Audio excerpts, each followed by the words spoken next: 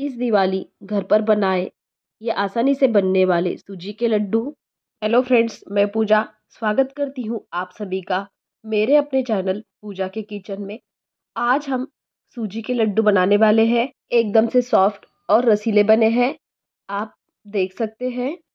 इसे बनाना काफ़ी आसान है, पर परफेक्ट मेज़रमेंट के साथ बनाओ तो ये ऐसे ही बनते हैं। तो चलो इसका मेज़रमेंट देखते हैं। इसके लिए पहले तो आप किसी एक कटोरी या कप को मेज़रमेंट के लिए सेट कर ले। यहाँ पर हमें लेना है चार कप बारीक वाली सूजी। इसी के साथ ढाई कप यहाँ पर मैंने शक्कर ली है। शक्कर आप थोड़ी सी कम या ज़्यादा कर सकते हैं। उसी के साथ यहाँ पर हम लेंगे एक कप मेल्टेड घी। चार कटोरी रवा के लिए एक कटोरी यहाँ पर हमें घी लेना है। अगर आपके पास मोटी वाली सूजी है तो उसे मिक्सर के पॉट में डालकर चालू बंद मोड पर थोड़ा सा पीस ले और उसी के बाद यूज़ करें। घी यहाँ पर हमें मेल्टेड ही लेना है। इसी के साथ हम लेंगे कुछ ड्राई फ्रूट्स पे कुछ लिए हैं काजू, बादाम, मनुका और थोड़े से पिस्ता। ये पूरी तरह से ऑप्शनल है। अब हम रखेंगे गैस पर एक पैन और उसमें डालेंगे एक से डेढ़ टेबल स्पून घी और उसमें ये जो हमारे ड्राई फ्रूट्स है, उसे हम भून लेंगे। ड्राई फ्रूट्स में एक कच्चा सा फ्लेवर होता है। इसीलिए इसे घी में अच्छी तरह से भून लें।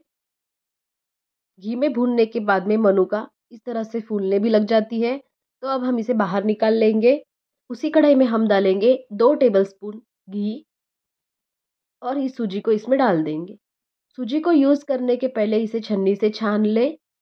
अगर आपके यहाँ पर धूप आती है तो इसे थोड़ी देर धूप में रखें ताकि इसमें जो मॉइस्चर है वो निकल जाए।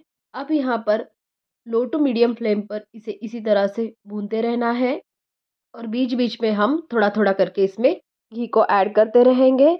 एक साथ यहाँ पर हमें घी डालना नहीं है। सूजी को भुनते हुए मुझे पाँच मिनट हो चुके हैं। अब हम इसमें ऐड करेंगे ये डेसिकेटेड कोकोनट, जो मार्केट में रेडीमेड मिलता है, मैं उसका यूज़ कर रही हूँ। अगर आपके पास ये नहीं है तो आप सूखे नारियल को खींच के भी यहाँ पर यूज़ कर सकते हैं। अब हम नारियल के बुरादे के साथ इसे पाँच मिनट तक ऐसे ही भुनेंगे और बीच बीच में इस तरह से इसमें घी डालते रहेंगे। डेसिकेटेड कोकोनट मतलब नारियल का बुरादा, ये भी कच्चा होता है, इसलिए इसे भी अच्छी तरह से भूनना ज़रूरी है। सूजी को भूनते समय बिल्कुल जलाना नहीं है, लो फ्लेम पर ही इसे इसी तरह से भूनते रहना है। इतनी सूजी भूनने के लिए मुझे लगभग पंद्रह मिनट लग चुके हैं, अब हम सूजी को एक प्लेट में निकाल लेंगे।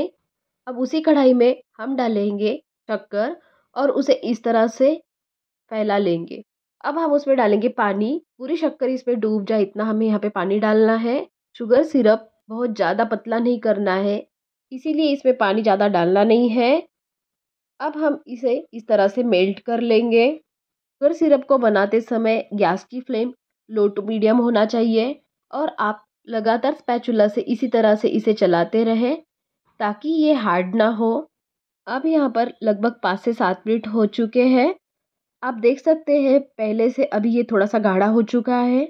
यहाँ पर पाक हमें बिल्कुल ज़्यादा गाढ़ा नहीं करना है या फिर इसकी कड़क वाली चाशनी भी नहीं बनानी है। बस इसे चेक करने पर एक तार वाली चाशनी बन जाए, इतनी देर तक ही इसे पकाना है। चलो हम इसे चेक कर लेंगे। आप देख सकते हैं, इस तरह से इसका तार आना चाहिए। ये अभी परफेक्ट है। अब हम यहाँ पे गैस को बंद कर देंगे। अब इसमें हम डाल देंगे ये भुनी हुई सूजी। याद रहे, यहाँ पर गैस को बंद कर देना है। सूजी के साथ साथ हम यहाँ पर डालेंगे ड्राई फ्रूट्स और यहाँ पर हमें इन सब चीज़ों को एक साथ मिक्स कर लेना है। बस इसे आपको मिक्स करते समय थोड़ा सा फास्ट करना है। आपको ये थोड़ा सा गीला लग सकता है, लेकिन ये लड्डू के लिए परफेक्ट है। बस एक मिनट के लिए आप इसे इस तरह से चलाते रहें और इसे एक प्लेट में निकाल लें और इसे ठंडा होने के लिए छोड़ दें। यहाँ पर ये पूरी तरह से ठंडा हो चुका है। इसके हम लड्डू बना लेंगे। आपको जितनी साइज़ में ये चाहिए, उतने साइज़ के लड्डू बना लें। यहाँ पर ये सूजी वाला जो मिश्रण है, अगर वो ड्राई हो जाता है तो उसमें आप तीन से चार टेबल स्पून गर्म दूध डालें। यहाँ पर हमारे सूजी के परफेक्ट लड्डू बनकर रेडी है। लड्डू बनाते समय सूजी को अच्छी तरह से भूनना है। दूसरी बात, हमें इसका जो शुगर सिरप है, उसे ज़्यादा कड़क करना नहीं है। और मेज़रमेंट सही से लेना है।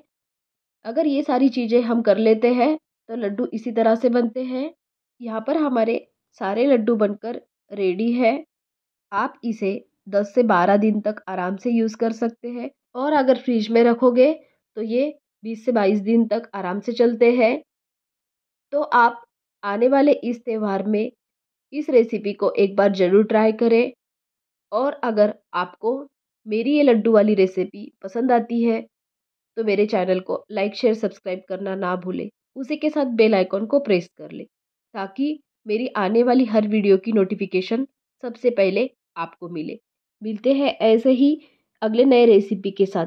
तब तक के लिए बाय एंड वीडियो को पूरा देखने के लिए थैंक यू